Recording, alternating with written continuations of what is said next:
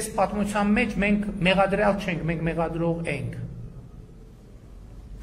Որովհետև այն ինչ մենք արել ենք 3 տարում բանակի համար,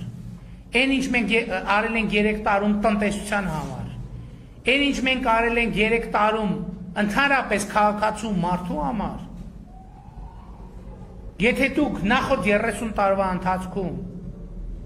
այդ տեմպի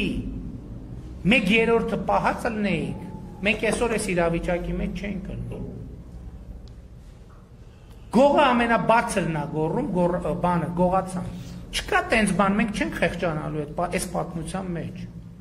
Որտեւ ի տարբերություն ձեզ մեր ժողովրդին ոչ մի բանի մեջ չենք խափել։ Մեզ մեղադրում են ասում են, հա, ասցիկ, որ Ղարաբաղի հարցը կլուծեք ժողովրդի հետ համաձայնեցված։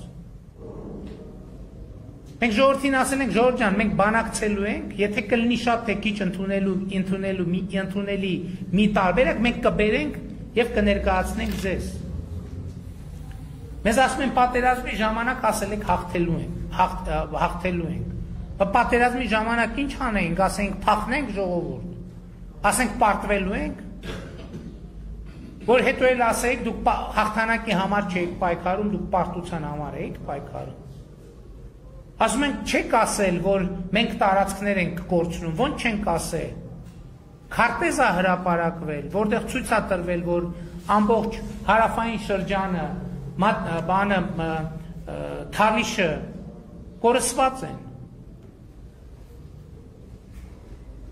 Այսօր փորձում են ասել, թե բանա, թե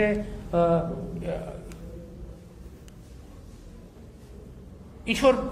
այդ լելե թեփեի պատմում փորձում են ասել, ասում են սկզբից բաներ։ Սկզբից ուզում էին ասեին, որ վարչապետի որդին չի եղել բանում, բանակում։ Հետո պարզվեց, որ առաջնագծում ա եղել։ Հետո սկսեցին ասել, թե գիտես ինչ ունես մի հատ ճիշտ առաջնագծերում ա եղել, բայց մի հատ Երբ որ պարզվեց, որ Որթուս ընկերը նույն խրամաբջիջի մեջ գտնվող, նույն խրամաբջիջի մեջ, ընդ որում այդ ժամանակ սենց պարկած մարմիններով իրար կապած են եղել զոհվել է հասկանում եք ժողովուրդ չի կարա այդ ականը այդ արկը որոշեր որ զոհվողը այդ երկու տղաներից պետքա լինի այդ տղայի անունը ազգանունը կա հասցեն կա հերախոսի համարը կա հիմա էլ եկել են ասում են 1800 հատ զոհ են տվել, որ վարչապետի ворթուն էվակուացնեն։ Վարչապետի ворթուն ոչ մեկ չի էվակուացրել։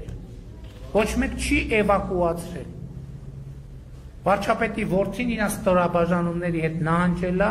եւ ինչպես ուրիշները նույն կերպել այլք։ Այստեղ ուրիշ մանրամասներ էլ կան, որ ես հիմա հարկ չեմ համարում նշեմ։ Մեզ մեղադրում են ամեն ինչի մեջ։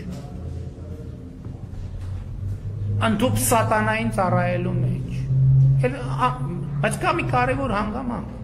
Մենք ինչ ենք միջև այսօր այստեղ եւ և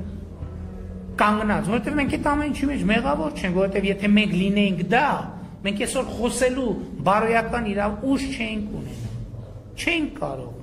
Մենք մարդկանց աչքերի մեջ չենք կարող նայել։ Այսօր մենք շատ բան ենք կորցրել, բայց մենք պահպանել ենք մարդկանց աչքերի մեջ նայելու իրավունքը։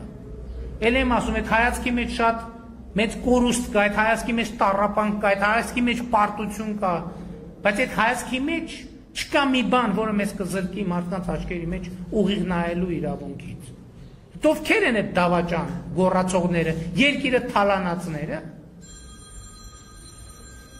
Դասում են ձեր օրոք պարտություն ա եղել, բայց ձեր օրոք հոկտեմբերի 27 ա եղել։ Բայց Ռոբերտ Քոչարյան եւ Սերժ Սարգսյան եկեք